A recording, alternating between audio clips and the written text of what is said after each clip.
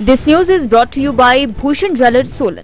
प्रवेश द्वार परवाणु लंबे समय से स्कूली बच्चों की आए दिन सड़क पर होने वाली लड़ाइयों से परेशान चल रहा है, जिसकी जानकारी स्थानीय स्कूल प्रशासन को और पुलिस विभाग को भी है जनता का कहना है कि सब कुछ जानते हुए भी इस समस्या पर आज तक कोई आवश्यक कदम नहीं उठाए गए स्थानीय दुकानदारों ने बताया कि स्कूल की छुट्टी हो जाने के बाद स्कूल के बच्चे अलग अलग ग्रुप बनाकर रोड के किनारे खड़े होते हैं और कुछ बाहरी लड़के भी इनके साथ हथियार लिए देखे जा सकते हैं।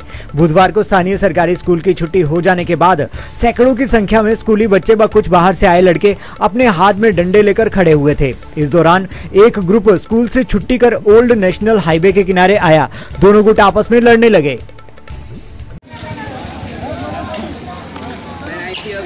इनकी ठाणे भेज दो वीडियो सबकी। हाँ आगे आगे चाउमीन वाले का लड़का है, पता नहीं साथ में। उसको रहे हैं वो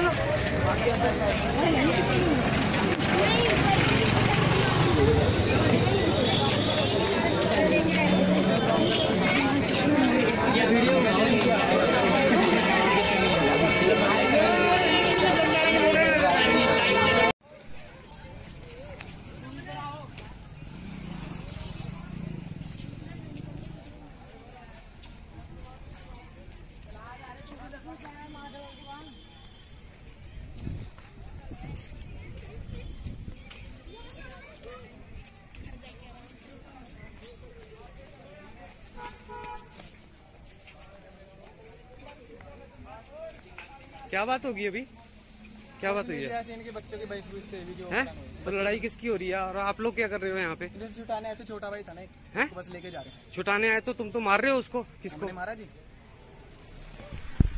पे खड़े हो हम तो आपको बता तो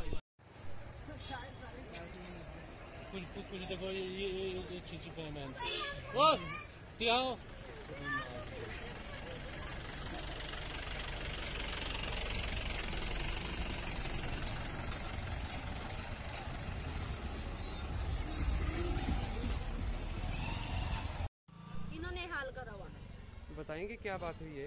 ये पता नहीं किसके पीछे लड़ते जी? तीसरे दिन का काम है इनका। तीसरे दिन का और डंडे लेके आते हैं तलवारें और डंडे। अच्छा ये स्कूल के बच्चे स्कूल के बच्चे हैं लोकल स्कूल के ही सारे। अच्छा स्कूल के सारे हाँ जी। बाहर का कोई नहीं है? बाहर के नहीं है इनमें स्कूल के ही है।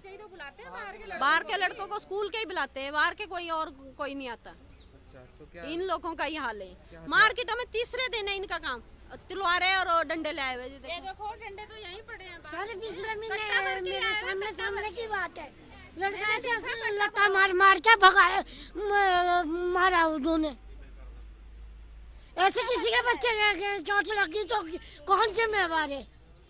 ये स्कूल प्रिंसिपल से आपने बात की स्कूल प्रशासन से? नहीं ओ नहीं सर बोला भी है थाने में भी दो तीन बार बोल दिया इनको। सर ये समझते नहीं स्कूल के बच्चे हर रोज का ही काम है इनका ये।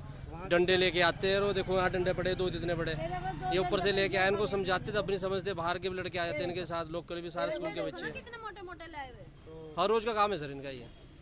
पुलिस से आपकी क्या बात हुई पुलिस क्या कहना है उनका? पुलिस का कहना है सर बोलो सर या तो उनकी ड्यूटी लगाई जाए स्कूल टाइम में जब उनकी छुट्टी होती है तो यहाँ पे देखा जाए इनको इकट्ठे होते सारे रोज लड़ाई करते हैं यहाँ पे।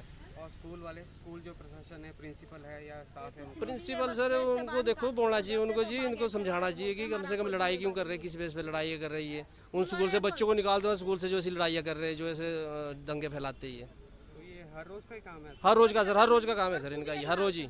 एक एक घंटे तक तीन बजे के बाद चार बजे तक ये यहीं मार्केट में रहेंगे सर घूमे हुए। और सारे बच्चे एक पीछे इनके पीछे लगे होते हैं। सारा आपको वीडियो भी दिखा देते सर वीडियो बनाई है इनकी सारे पीछे दौड़े रहते हैं सारे बच्चे।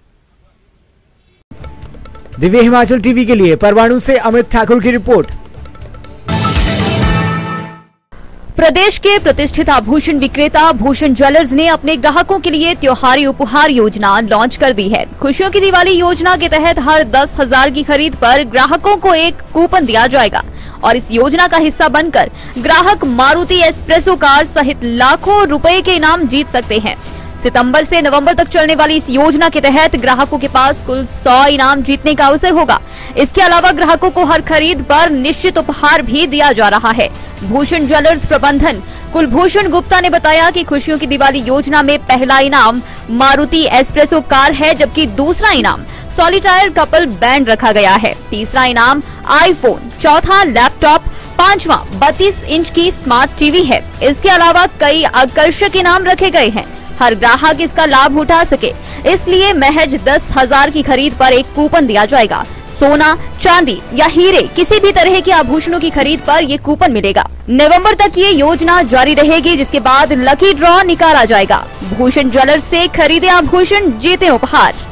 आकर्षक उपहार जीतने के लिए जाएँ भूषण ज्वेलर्स सोलन।